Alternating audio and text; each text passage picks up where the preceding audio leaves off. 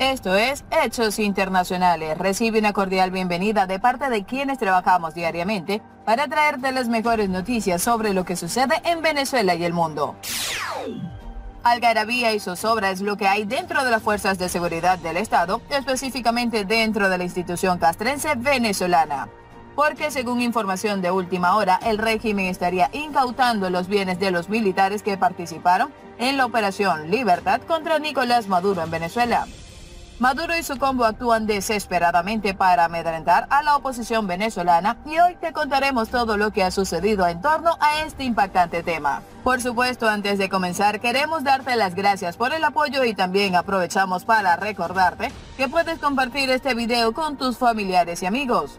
Numerosos apartamentos, carros, casas, además de objetos de decoración, línea blanca, prendas y artículos personales, propiedad de los militares que participaron el 30 de abril en la llamada Operación Libertad que Juan Guaidó dirigió desde el distribuidor Altamira de Caracas, ha ido a parar a manos de funcionarios policiales y militares. Muchos de esos funcionarios, a veces con apoyo de algún fiscal, se han presentado en algunas de las viviendas y con la excusa de que la orden es de un tribunal, documento que nunca presentan, desalojan a quienes vivan en ella.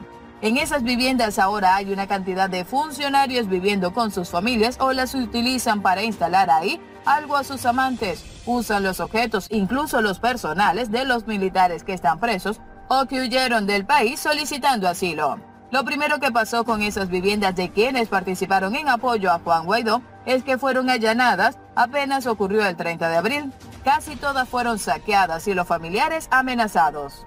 Los funcionarios se llevan los vehículos, tienen preferencias por las camionetas, sobre todo de lujo. Han demostrado debilidad por las monedas extranjeras, especialmente el dólar americano o el euro.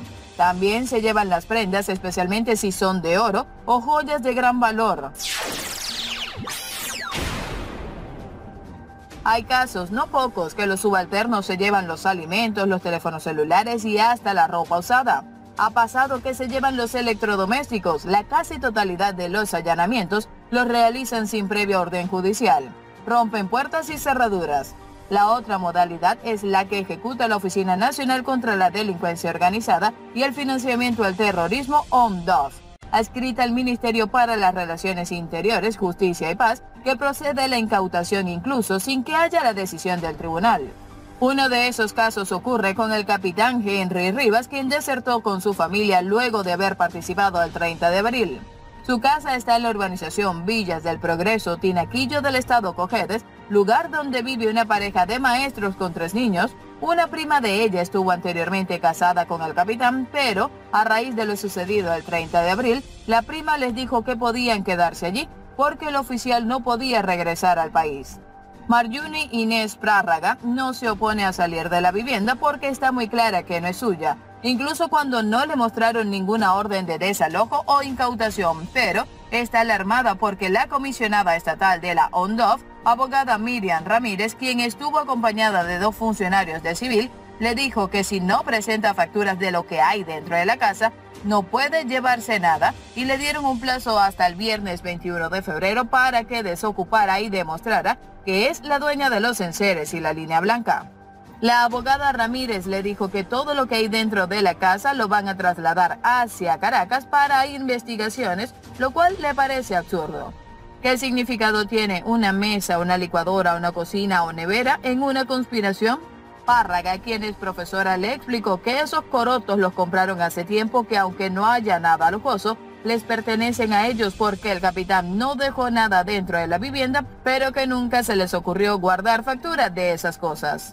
La angustia de la madre de los tres niños es que pueden perder lo que habían logrado adquirir por años y para mayor desdicha su esposo que es maestro fue sacado del sistema del Ministerio de Educación por lo que no está recibiendo sueldo alguno. Gracias a esa perversa modalidad, muchas veces sin ninguna orden judicial de apropiarse de los bienes de los militares que están presos o señalados por traición a la patria e instigación a la rebelión, le ha permitido a funcionarios del Servicio Bolivariano de Inteligencia, Dirección de Contrainteligencia Militar o de las Fuerzas de Acciones Especiales vivir en apartamentos o quintas, además de disfrutar los vehículos que tampoco le pertenecen. Y en esa telaraña han caído las propiedades del exministro y mayor general Miguel Rodríguez Torres. Por otro lado, también acusaron a los funcionarios del régimen de Nicolás Maduro de hacer desaparecer a seis ejecutivos de Estados Unidos. Los hombres trabajaban en Citgo, empresa que pertenece a la petrolera estatal PDVSA, antes de ser arrestados acusados de corrupción en el 2017. Debían presentarse el miércoles al inicio de su juicio programado, pero no se supo nada más de ellos. Los familiares de los ejecutivos petroleros estadounidenses que se encuentran encarcelados en Venezuela acusaron al gobierno de Nicolás Maduro de desaparición forzada después de que los sospechosos se ausentaran inexplicablemente del inicio programado de su juicio el día miércoles. Verónica Badel dijo que los abogados de su padre, Tomeu Badel, y de otros cinco ejecutivos de la compañía Ciggo con sede en Houston esperaron en un tribunal de Caracas durante más de seis horas para que la policía de inteligencia transfiriera a los hombres. En un mensaje publicado en redes sociales exigió que todas las partes trabajaran para resolver de inmediato este caso de rehenes. Pero, ¿por qué la demora? ¿Dónde están los hombres? preguntó. Los seis hombres estaban bajo arresto domiciliario cuando se los llevaron sin explicación hace dos semanas y desde entonces han permanecido aislados y sin acceso a sus familiares o abogados. El arresto se realizó el mismo día en que el líder opositor Juan Guaidó se reunió con el presidente de los Estados Unidos, Donald Trump, en la Casa Blanca, avivando las especulaciones de que la detención fue por motivos políticos. Se desconoce el motivo por el que los agentes del Servicio Bolivariano de Inteligencia Nacional, SEBIN, nunca transfirió a los hombres desde la cárcel helicoide donde se cree que permanecen detenidos. El fiscal general de Venezuela, Tarek William Saab, confirmó el miércoles a The Association Press que todo estaba listo para el inicio del juicio. Los seis hombres fueron detenidos por agentes de seguridad con los rostros cubiertos durante una reunión en Caracas poco antes del Día de Acción de Gracias del 2017 fueron a Venezuela para acudir a una junta en las instalaciones de la matriz de SIGO, la paraestatal venezolana PDVSA. El grupo viajó en un avión de la compañía. Los detenidos son Badel, vicepresidente de refinación, Gustavo Cárdenas, director estratégico de relaciones con accionistas y de asuntos públicos y gubernamentales, Jorge Toledo, vicepresidente de suministro y mercadeo, Alirio Zambrano, vicepresidente y director general de la refinería de Sigo en Corpus Christi, José Luis Zambrano, vicepresidente de Servicios Compartidos, y José Ángel Pereira, presidente de Sigo. Los hombres aguardan su juicio por cargos de corrupción derivados de un plan nunca ejecutado para refinanciar alrededor de 4 mil millones de dólares en bonos de Sigo, ofreciendo una participación del 50% de la compañía como colateral. La fiscalía acusa a los hombres de maniobrar para beneficiarse del acuerdo propuesto.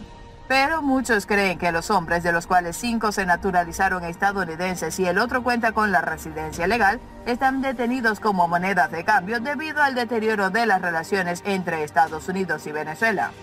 Citaron como evidencia de las irregularidades las decisiones del juez inicial de posponer la audiencia preliminar en 15 ocasiones consecutivas.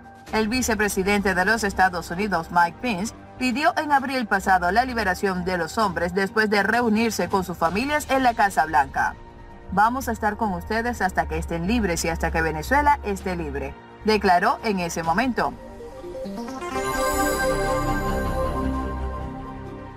Y para finalizar, les contamos que el ministro de la Defensa del régimen de Nicolás Maduro dio a conocer este jueves 20 de febrero sobre la captura de una narcoaeronave en el estado Falcón.